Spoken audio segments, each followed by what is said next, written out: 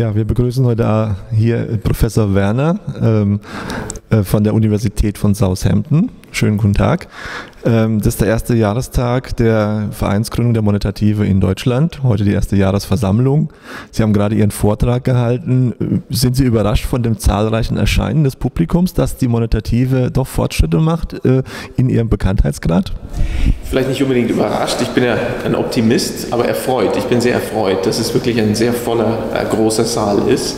Und das ist ja sehr schön. Ich habe mir schon gedacht, also man hat es doch gemerkt im letzten Jahr, dass sich doch einiges tut in Deutschland auf, auf, auf dieser Ebene und das zeigt sich in großen Zahlen. Jetzt waren Sie lange in Japan, also ein richtig ausgewiesener Japan-Experte, als die japanische Krise in den 90er Jahren schon äh, war. Da sind Sie bekannt geworden mit vielen Veröffentlichungen. Ähm, mittlerweile sind Sie nach Europa zurückgekehrt, lernen an der Universität von Southampton, wie gesagt. Ähm, Ihre Lösungsvorschläge für diese Finanzkrise, die im Augenblick draußen tobt und die uns so umtreibt, äh, wenn Sie die vielleicht in zwei, drei kurzen Sätzen nochmal dem Publikum hier sagen könnten. Gerne. Die hatte ich natürlich, wie Sie auch äh, angedeutet haben, in Japan schon formuliert. Ähm, und im Endeffekt, ich war zwölf Jahre in Japan, äh, war sehr gut repräsentiert, auch in den Medien, in den großen Fernsehen, Zeitungen, äh, regelmäßige Kolumnen in den großen Zeitschriften, Bücher, Bestseller. Und trotz dessen konnte man nichts bewirken. Und das war zu frustrierend zum Schluss. Ähm, und deswegen ist natürlich Japan auch weiterhin in der Rezession. Ähm, wir sind jetzt im Prinzip im dritten Jahrzehnt der Rezession. Es wurden, das will ich eben betonen, meine Vorschläge nicht durchgeführt und äh, daher auch die sehr lange Rezession. Tja, was ist das Problem, dass wir in, sagen wir mal, Beispiel Irland, Spanien haben? Es ist das gleiche Problem wie in Japan. Es gab also eine Phase, das war in Japan in den 80er Jahren, wo die Banken sehr viel Kredit vergaben, das heißt also Kreditschöpfung, das ist Geldschöpfung für spekulative Investitionen. Das treibt, weil es ja Geldschöpfung ist, wenn Banken Kredit vergeben, das treibt die Vermögenswertepreise hoch. Und dann haben wir eine Finanzblase. Das ist immer die gleiche Mechanik. Sobald die Kreditschöpfung für spekulative Transaktionen zurückgeht oder sogar negativ wird, dann platzt natürlich diese Blase. Das ist immer nicht nachhaltig. Also man weiß da immer 100% sicher, das führt zur Krise. Wenn es groß genug ist, das kann man dann recht schnell ausrechnen, dann haben wir eine Krise. Das, ist, das Timing ist nicht ganz leicht, aber sobald die Kreditschöpfung dann zurückgeht, das ist die beste ähm, Methode, das zu vorhersagen. Denn dann geht natürlich dieser positive Zyklus ins Negative, die Preise fallen. Die ersten Spekulanten, das sind die, die, die letzten, die am, am letzten dazugekommen sind, gehen bankrott. Die Banken haben jetzt schon mal ein paar notleidende Kredite, werden noch vorsichtiger. Kreditschöpfung geht weiter zurück. Finanzpreise daher fallen weiter ab. Mehr Bankrotte der Spekulanten. Banken mehr notleidende Kredite geben, geben jetzt dann auch an die Realwirtschaft weniger Kredit aus und so weiter. So wird das Ganze natürlich dann zu einer Bankenkrise. Die Banken, wie bekannt ist, haben natürlich sehr wenig Kapitaleinlagen und daher brauchen wir nur eigentlich zwischen 5 und 10 Prozent ähm, Verlust der Aktiva der Banken und dann ist eine Bank bankrott. Das geht also sehr, sehr schnell. Tja, und jetzt ist die Frage, was macht man dann? Man kann das Ganze natürlich vermeiden, das ist noch am besten, indem man nämlich Kreditlenkung hat, weil der Bankkredit ja so wichtig ist, weil durch die Bankkreditschöpfung die ganze Geldmenge geschaffen wird und in Umlauf gebracht wird, ist es natürlich also völliger gesunder Menschenverstand, zu sagen, wir müssen das lenken, wir müssen die, den schlechten Kredit stoppen, unterbinden und den guten Kredit fördern. Und das ist eben durch Kreditlenkung möglich. Das wurde auch in der Vergangenheit durch Zentralbanken gemacht. Aber gut, wir sind jetzt in der Krise, es ist alles passiert. Ähm, und Banken sind bankrott, Kreditschöpfung ist negativ, wie in Japan viele Jahre, wie auch in Irland und, Spanien und so weiter. Daher Rezession, dann schrumpft die Wirtschaft natürlich, Arbeitslosenzahlen steigen, in Spanien jetzt 25 Prozent, Jugendarbeitslosigkeit über 50 Prozent. Was tut man jetzt? Also das, das Kernproblem ist, dass wir jetzt keine Kreditschöpfung mehr haben, denn so wie das System aufgebaut wurde, wir brauchen Kreditschöpfung, um Wachstum zu haben. Denn was ist Wachstum? Wachstum ist mehr Transaktionen dieses Jahr als letztes Jahr. Das heißt, mehr Geld muss verwendet werden für Transaktionen dieses Jahr als letztes Jahr. Das geht in dem System, das wir haben, nur indem mehr Geld geschöpft wird durch, durch Banken, Bankkreditschöpfung. Die muss angekurbelt werden. Und das kann äh, am schnellsten, und ich möchte mich auf die wichtigsten Punkte konzentrieren, es gibt noch viele andere Sachen, die man machen kann, aber das Schnellste ist, wenn wir also das Problem der notleidenden Kredite der Banken loswerden und das ist ja nur ein Buchhaltungsproblem. Denn der ganze Bankkredit ist ja nur Buchhaltung. Die Banken haben also jetzt auf der aktiver Seite ihrer Bilanz ein Loch. Im Kredite vergeben zu 100. Jetzt, das kommt nicht mehr zurück. Die sind nur noch 20 wert, sagen wir mal. Das macht die Banken bankrott. Dann vergeben sie keine Kredite. Daher die Rezession. Also, wie können wir das Problem lösen? Wir müssen das ausradieren, das Loch hier wieder 100 schreiben. Da würden sich die Buchhalter aufregen, ja, das geht doch so nicht okay, wir können das sogar unter der Einhaltung der Buchhaltungsregeln durchführen, sozusagen das Ausradieren und wieder 100 schreiben, indem wir das Privileg der Zentralbank clever verwenden. Die Zentralbank geht hin und sagt zu den Banken, okay, wir kaufen euch jetzt die äh, notleidenden Kredite ab, und zwar zum Buchwert von 100, da haben sie 100 ausgegeben, sodass die Banken natürlich sofort saniert sind, das ist klar, die sind liquider denn jemals zuvor. Und das Problem ist erstmal gelöst. Man meint jetzt, aber jetzt haben wir ein neues Problem geschaffen, nämlich die Zentralbank ist jetzt bankrott oder die Zentralbank hat Riesenverluste. Dabei stimmt es natürlich nicht. Die Zentralbank macht Gewinne. Denn wenn wir, äh, sieht zwar, also man kann es schon als Verlust darstellen, wenn man will, also die kauft da für 100 etwas, das nur 20 wert ist, also Verlust von 80, so sieht es aus. Buchhaltung soll aber die Realität möglichst genau darstellen und das ist bei Zentralbanken ähm, ganz interessant, denn Zentralbanken sind ja nicht, nicht jedermann. Die haben ja bestimmte Macht und Lizenzen, zum Beispiel der Geldschöpfung und auch der kreativen Buchhaltung. Also was die Zentralbank tatsächlich erwirtschaftet, ist ein Gewinn von 20. Denn die Kosten, um diese Werte, die 20 wert sind, zu erhalten, sind null. Sie hat jetzt etwas, das 20 wert sind. Das müsste man eigentlich darstellen. Man kann es buchhalterisch auch machen. Das wird, Zentralbanken haben das ja gemacht, was ich hier vorschlage.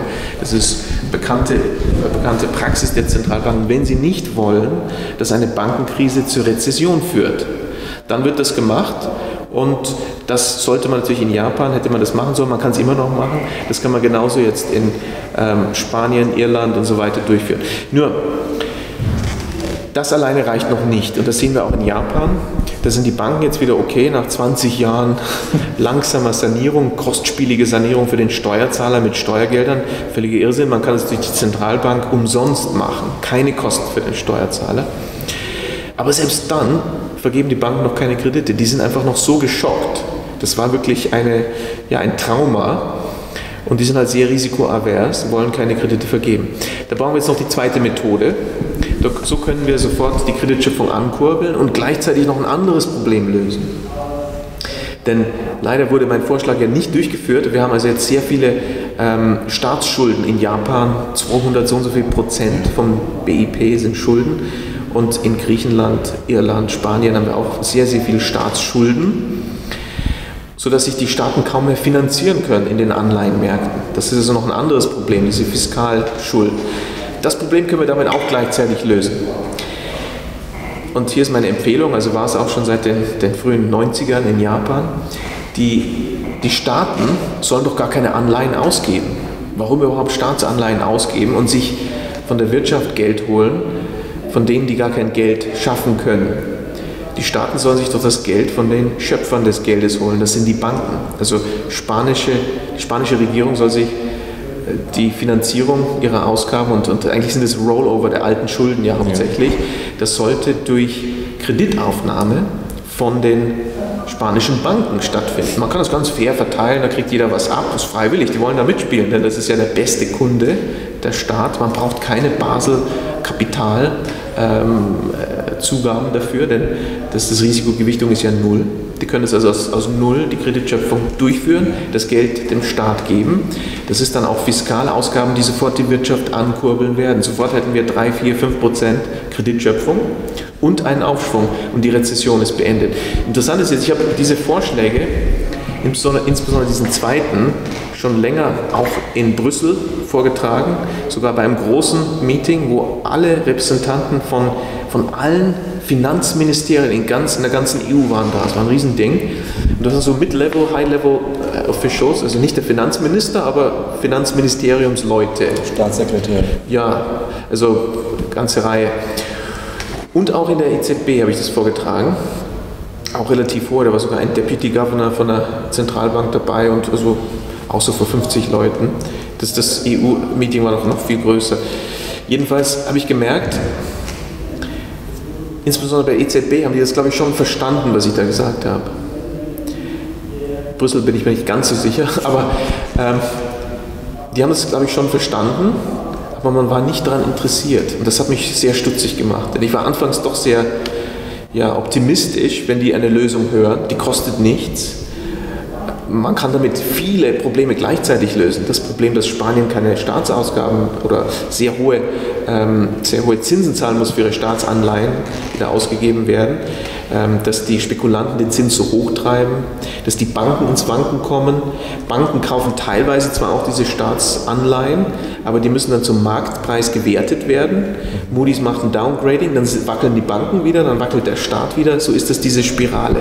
Und da kann man mit meinem Vorschlag durchbrechen das ist dann egal, was Moody's sagt. Denn der Bankkredit an eine Regierung, der ist nicht handelbar. Spekulanten können nicht angreifen. Und, und, der Zins ist viel niedriger. Ich meine, das allein sollte ja schon ein ökonomischer Grund sein, warum Regierungen nicht Staatsanleihen ausgeben, sondern, sondern sie lieber das Geld von den eigenen Banken durch Bankkredit holen, Kreditverträge weil der Bankkreditzins ja viel, viel niedriger ist als der Staatsanleihenzins. Warum?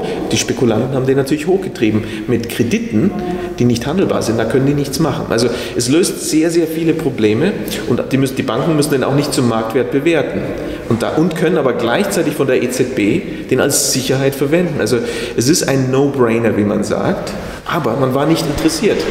Und das ist noch ein interessanter Punkt, und vielleicht kommen wir da noch darauf. Also, warum will man eigentlich diese Krise nicht beenden? Aber bitte, ja vielleicht das. Ja, ich habe Sie jetzt absichtlich nicht unterbrochen, weil das sollte man am Stück hören, weil es muss auf dem Zusammenhang erstmal erklärt werden, sonst äh, geht ja die Quintessenz verloren. Jetzt habe ich natürlich x Fragen, ich weiß gar nicht, wo ich anfangen soll.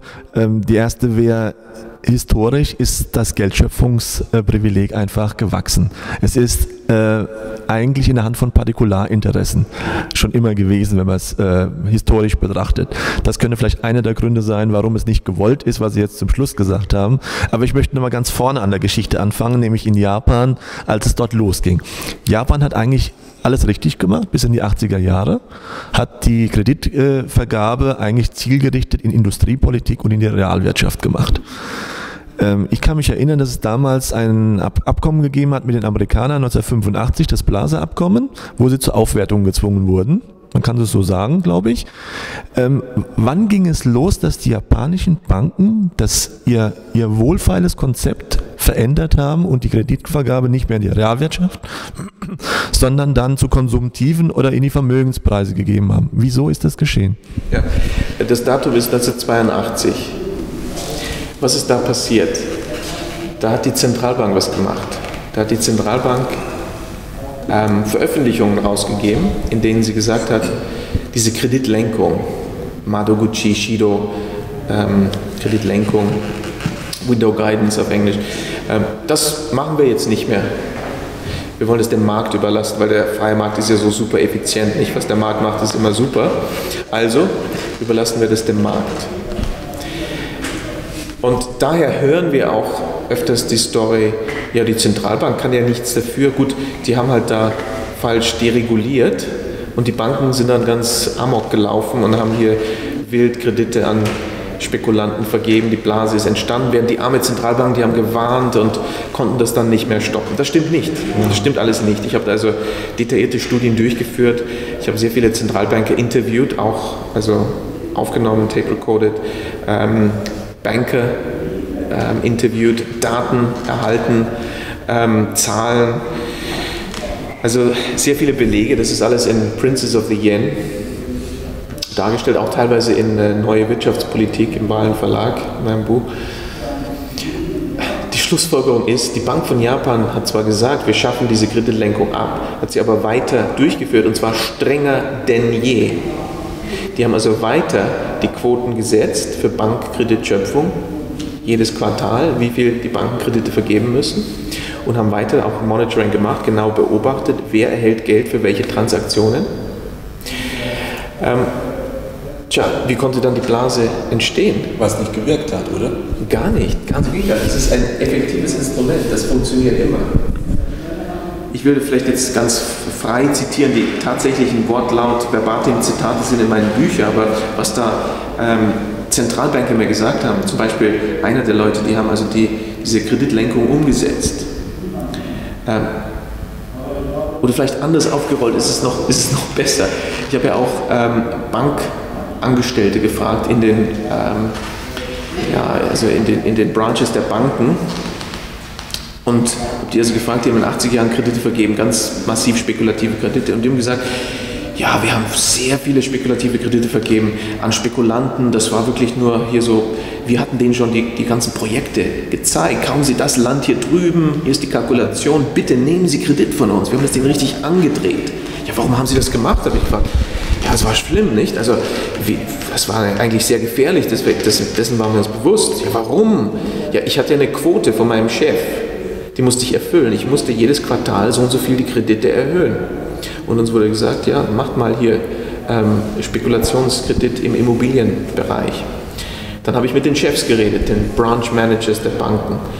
Und die haben auch gesagt, ja, das war eine schlimme Zeit, die 80er Jahre. Wir haben also das, den Kunden das Geld nachgeworfen. Wir haben ja massiv hier Immobilienkredite vergeben. Also völlig außer Rand und Band war das. Ja, warum haben Sie das gemacht? Ja, ich hatte natürlich keine Wahl, nicht? Ich, ich musste ja Quoten erfüllen. Sie mussten Quoten erfüllen von wem? Ja, von der Zentrale der Bank. Die haben mir jedes Quartal eine Quote gegeben. Ich musste diese spekulativen Kredite massiv erhöhen. Dann bin ich zur Zentrale oder zu den Leuten, die damals in der Zentrale waren. Das ist die strategische Abteilung, Planungsabteilung der Banken. Und die Leute, die in den 80er Jahren zur Blase, Zeit der Blase, diese Funktion erfüllten, die Planungen, Chef sogar, einer war Chef dieses Planung, äh, Planungsabteilung, gleiche Geschichte. Der Mann hat auch gesagt, ja, es war eine verrückte Zeit, wir haben Kredite vergeben an die Spekulanten, wie wild. Es war so gefährlich, wir haben ja praktisch den Bubble erzeugt da. Ja, warum haben Sie das gemacht? Ja, ich musste ja Quoten erfüllen. Ich musste jedes Quartal musste ich das Zeug erhöhen. Ja, wo kommt denn die Quote her? Ja, von der Bank von Japan. Window Guidance. Das ist Madoguchi Shido. Und dann bin ich zur Bank von Japan und habe die Leute gefragt, die das tatsächlich in den 80er Jahren gemacht haben. Das steht alles in Princess of the Yen drin, auch mit ganz tollen Zitaten, nicht was, also Revolver-Stories. Sagt auch die, die Zentralbankleute, sagen, ja, die 80er, das war ganz schlimm. Also wir haben den Banken ja ganz hohe Quoten gegeben, hier diese Immobilienkredite zu erhöhen. Damit haben wir die Blase geschaffen und damit haben wir das Banksystem bankrottiert. Ja, warum haben Sie das gemacht, habe ich gefragt. Ja, ich muss ja Quoten erfüllen. Moment mal, Sie sind noch bei der Zentralbank. Setzen Sie nicht die Quoten. Ja, das macht der Chef. Ja, wer ist der Chef? Der war damals Chef der Abteilung für Banken, Banking Department der Bank von Japan. Das war ein Herr Fukui. Und dieser Herr Fukui, das haben mir damals auch die Bankers schon gesagt, der wird mal Gouverneur der Zentralbank werden, Zentralbankpräsident. Und zwar stand genau fest, wann. So 2000 und so und so viel. Moment mal. Sie meinen, das ist schon Jahrzehnte vorher, äh, steht das fest? Ja, ja, das steht schon seit den, ich weiß nicht, 70er Jahren fest, dass der, der war 30 Jahre alt, der wird 30 Jahre später oder mehr, er wird der Zentralbankchef. Deswegen ist er einer der Prinzen, daher der Titel des Buches. Die wurden also sehr früh ausgewählt und die kamen in diese wichtigsten Jobs, natürlich nicht per Zufall, und das sind die designierten zukünftigen Zentralbankchefs. Und er wurde belohnt, er hat also das Programm durchgeführt, die äh, Kredite für Spekulanten massiv auszuweiten. Er wurde dann in den 90ern, als die Bank von Japan diese Kreditschrumpfung durchgeführt hat, und auch nichts getan hat, um das Problem zu lösen, hätte es ja kostenfrei machen können, wie ich gerade erwähnt habe, haben sie also nicht gemacht. Ähm, da war er Deputy Governor und musste noch ein paar Jahre absitzen, dann durfte er dann Governor werden, 2003 bis 2000, bis vor kurzem, 2008 glaube ich, nicht? Wurde also eine gute Karriere gemacht, das alles gut umgesetzt. Und das ist eine Tatsache. Also das System der Kreditlenkung funktioniert so gut, man kann es für gute Sachen einsetzen, wo wir also Wachstum ohne Inflation haben und Vollbeschäftigung und keine Zyklen, das ist möglich. Und man kann das einsetzen, um Wirtschaftszyklen zu erzeugen und Bankenkrisen und lange Rezessionen, die 20 Jahre lang anhalten. Die Bank von Japan hat natürlich auch das Rätsel ähm, geklärt, gelöst, warum sie das gemacht hat. Das steht also auch in Princess of the Yen drin. Es gibt also sehr viele Zitate, wo gesagt wurde, offiziell in, in Dokumenten der Zentralbank, ja, wir wollen ja keinen Wirtschaftsaufschwung, denn wir wollen die Wirtschaftsstruktur von Japan grundlegend ändern. Die wollten das effiziente japanische System zerstören, um eine sogenannte ja, freie Marktwirtschaft einzuführen. Und ich habe mir auch ein bisschen die Hintergründe angeschaut. Also die Bank von Japan setzt da also hauptsächlich die Politik der Federal Reserve um. Also amerikanische Interessen, die haben Plaza erwähnt, äh, sind da ganz klar im Hintergrund. Die Bank von Japan ist eigentlich die Federal Reserve Bank of Tokyo ähm, im amerikanischen System. Und äh, denen wurde nicht erlaubt, jetzt also lange also die Rezession zu beenden. Denn nur durch eine Krise können wir ja politische Ziele erreichen, wie zum Beispiel die Wirtschaft von Japan dramatisch umzukrempeln und eine Wirtschaft einzuführen, die viel mehr Ungleichheit hat und weniger effizient ist und daher natürlich dann auch die Exporte in Japan zurückschrauben.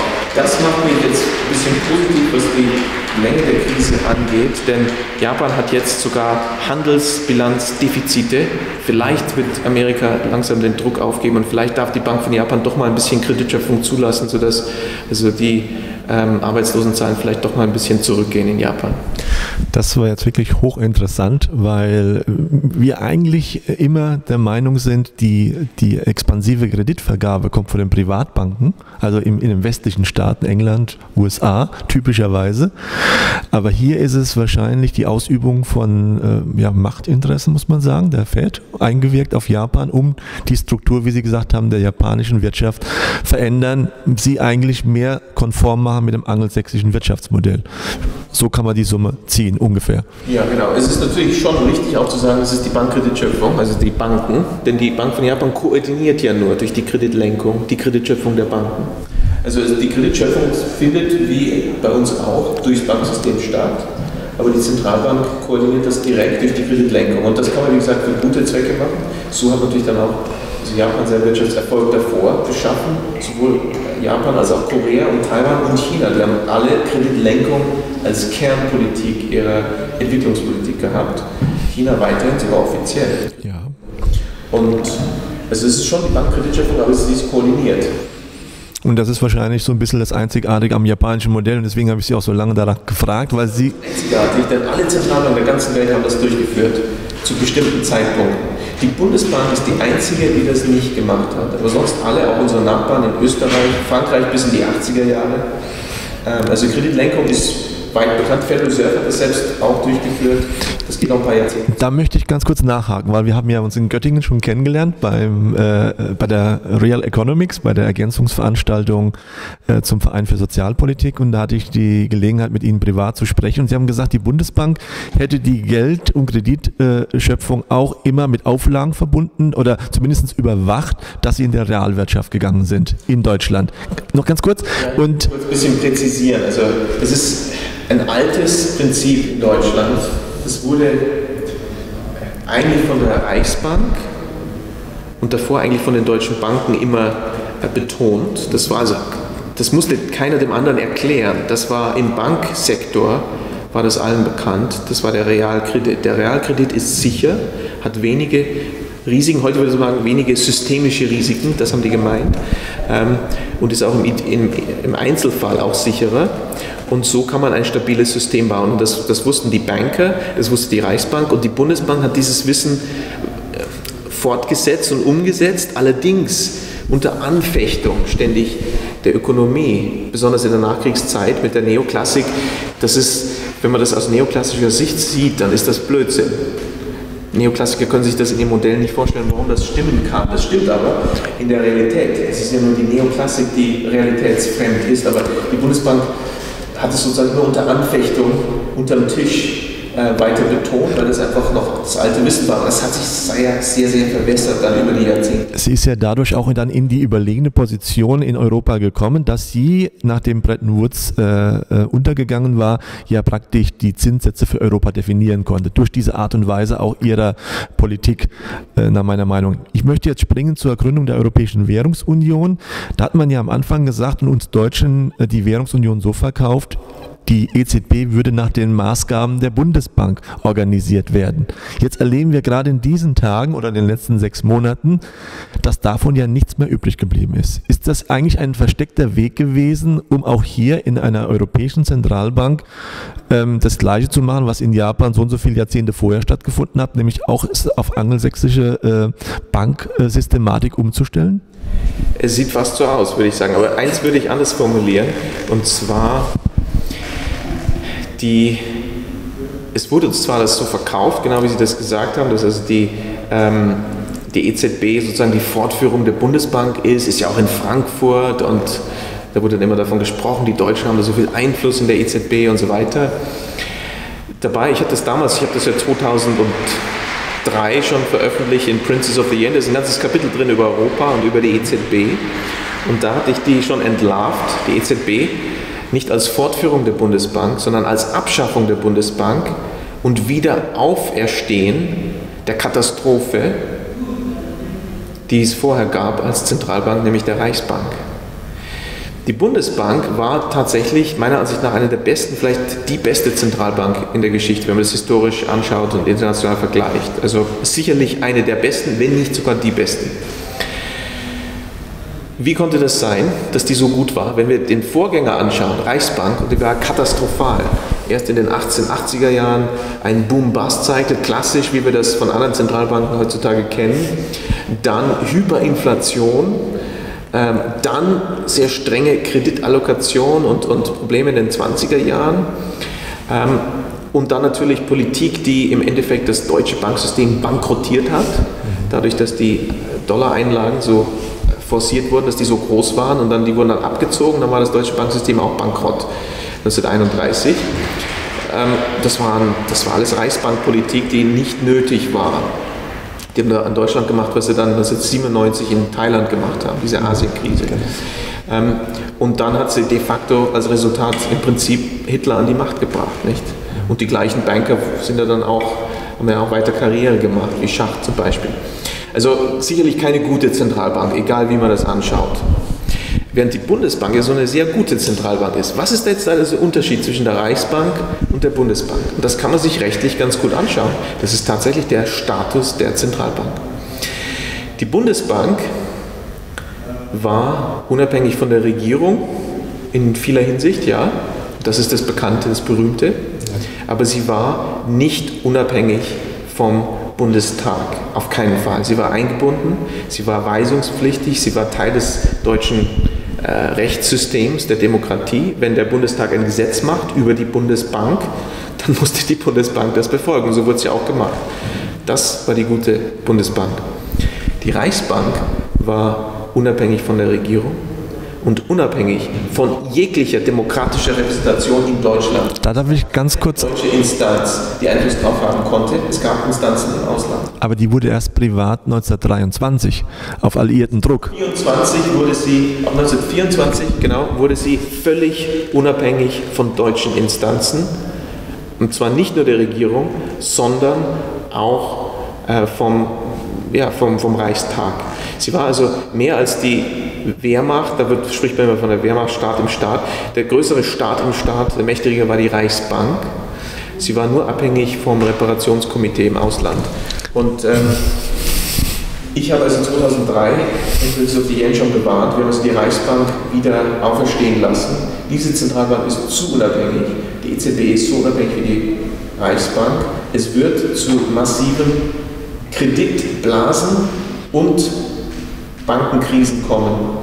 Denn das ist die Lehre der Geschichte. Wenn wir Zentralbanken so unabhängig machen, das ist absolute Macht, die absolut korrumpiert. Und die führt dazu, dass die Macht maximiert, ausgespielt wird. Und das geht bei Zentralbanken nur durch was?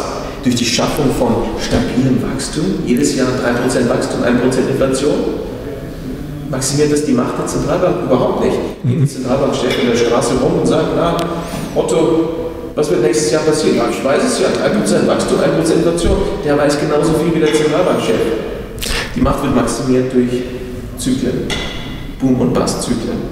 Damit kann man dann auch politisch ins Geschehen eingreifen. Ich finde, das haben Sie sehr gut definiert. Ich möchte jetzt den Bogen schlagen zur Monetative und äh, zu Professor Huber, der ja die Monetative als eine vierte Staatsgewalt etablieren möchte. Das würde ja dem entsprechen, was Sie äh, sagen, dass die Bundesbank eigentlich so ein Vorläufer von so einer vierten Gewalt gewesen sein kann. Wir können das fast so interpretieren. Ähm, jetzt ist natürlich, wie Sie schon vorhin draußen gesagt haben, der Zug fährt im Augenblick nicht in diese Richtung ab, so direkt. Ähm, wie schaffen wir das, dass wir diese scheinbar positive, unabhängige Position der EZB, die aber eigentlich doch nur nach meiner Meinung ein Erfüllungsgehilfe der Kreditschöpfung der Privatbanken ist, weil sie, es tut ja seit 2007, äh, praktisch unlimited Geld zur Verfügung stellen. Früher gab es mal Tender, der wurde drum versteigert, das ist auch aufgegeben worden. Sie kann eigentlich nur noch aus Gründen der Finanzstabilität Erfüllungsgehilfe der Privatbanken sein, die das Geldschöpfungsmonopol haben. Sie waren zusammen mit äh, Herrn Asmussen bei den Grünen, bei der Hans-Böckler-Stiftung. Ich habe das YouTube-Video mir angeschaut. Es ging da genau um diese Frage, ähm, der Rolle der EZB. Sie haben Ihre Position vorgetragen, wie hier. Er hat darauf geantwortet, they give no free lunch. Und Gerhard Schick hat eigentlich immer an den entscheidenden Punkten die Diskussion abgewürgt.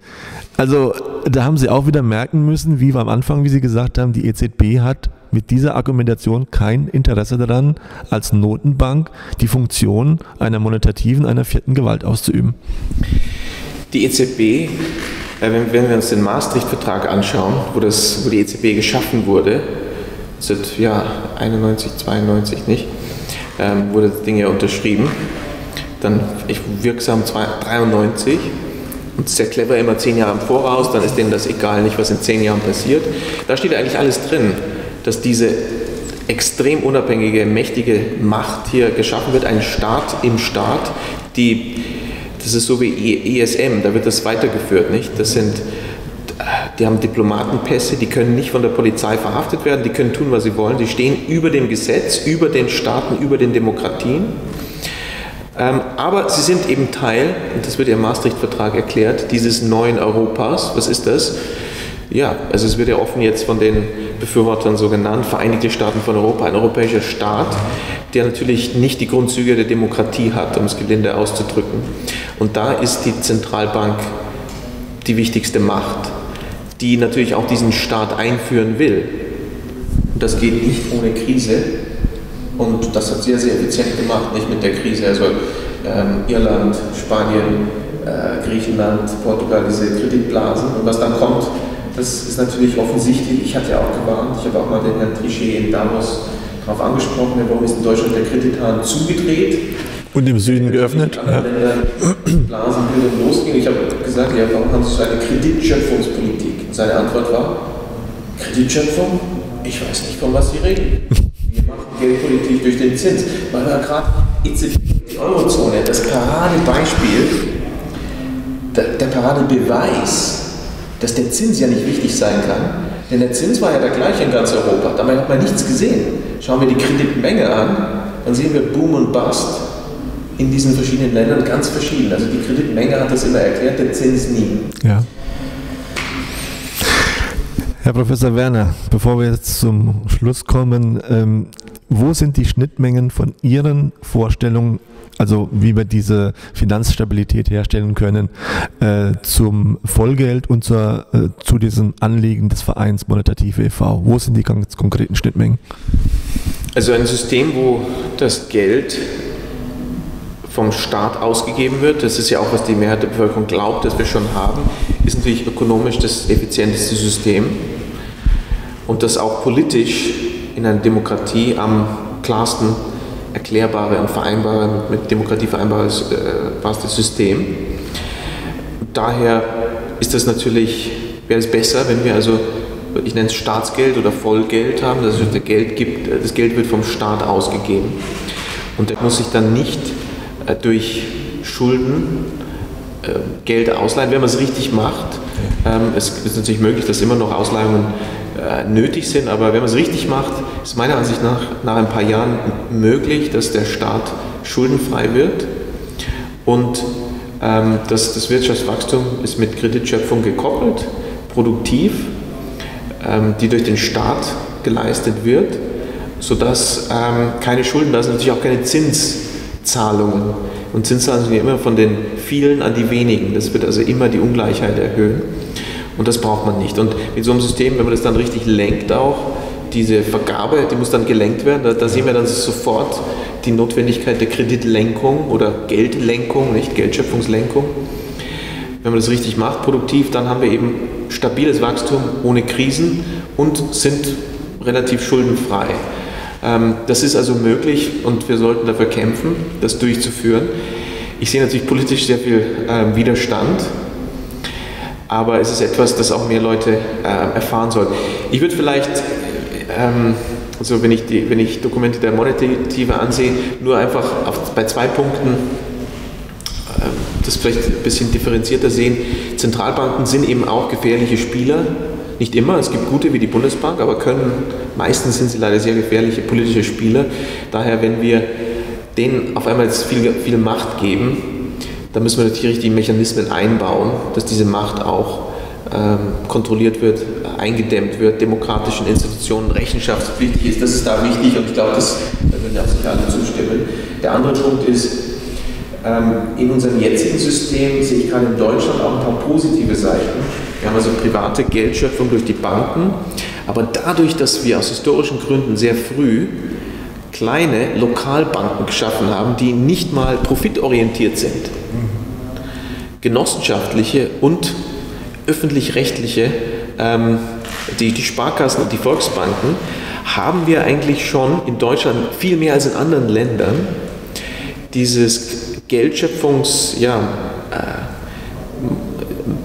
oder diese Macht uns von den Großbanken geholt und die ist jetzt auf lokaler Ebene, wo sie, dadurch, dadurch dass es nicht also durch Dividendenanteilshaber ausgezahlt wird, einfach auch auf lokaler Ebene bleibt, sodass wir in gewisser Weise mehr als andere Länder Lokalwährungen haben.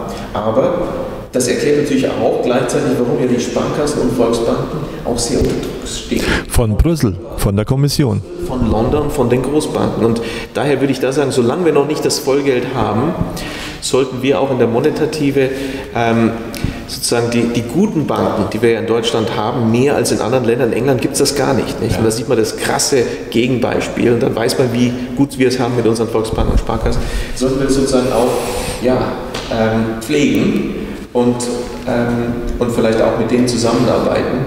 Denn ähm, solange wir also jetzt noch das gegenwärtige System haben, haben wir doch, äh, können wir mehr rausholen für die Bevölkerung, wenn wir das also durch ein gut funktionierendes Volksbanken-Sparkassensystem machen. Das ist wunderbar formuliert, würde ich vollkommen unterschreiben. Ähm, jetzt habe ich noch äh, mir ist noch eine Frage eingefallen, die ich noch stellen möchte. Das ist diese ähm, äh, These von Binzwanger, dass wir einen Wachstumszwang haben durch die Geldschöpfung an sich. Und nachher haben wir ja auch noch einen äh, Vortragenden, der in eine Postwachstumsgesellschaft überführen wird. Sie haben es in Ihrem Vortrag eben noch alle äh, erwähnt, dass Sie hier sagen, es das Wachstum, das wäre sowieso eine Illusion. Könnten Sie das nochmal ganz kurz erklären, diesen Punkt? Weil das wird ja nachher nochmal Gegenstand in der Podiumsdiskussion sein. Also das da sind die Debatten, glaube ich, etwas teilweise verwirrend, weil die Realität, also ist die Frage, sprechen wir innerhalb der Definitionen, die halt üblich sind, oder wollen wir das jetzt wissenschaftlich angehen? Also wenn ich vom Wachstum rede und davon, dass wir stabiles Wachstum haben können, dann meine ich natürlich auch immer nachhaltiges Wachstum, denn das kann man durch Kreditlenkung ja so hindrehen, dass besonders nachhaltige Projekte, umweltfreundliche Projekte gefördert werden und andere eben nicht. Das ist ja eben das Schöne an der Kreditlenkung, dass wir damit die ganze Wirtschaft nachhaltig umkrempeln können. Aber streng genommen, wenn wir jetzt das Wachstum uns anschauen, manche sprechen davon, dass wir jetzt, wir müssen Null Wachstum haben. Ich würde antworten, wir haben ja eh schon Nullwachstum, wenn wir das richtig rechnen. Mhm. Denn das Wachstum, das uns vorgerechnet wird durch die volkswirtschaftliche Gesamtrechnung, ist ja nur ein Scheinwachstum, wo, wo die positiven aufaddiert werden und die negativen kommen nicht rein, die werden nicht abgezogen.